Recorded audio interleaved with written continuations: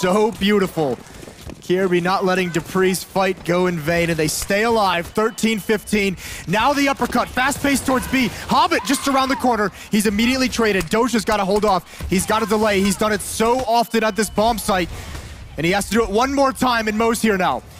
Up on the box. What an angle from Doja. Not easy to catch at all. And the flashbangs, they're not doing anything to him. There's Mo taking down Device and pushing.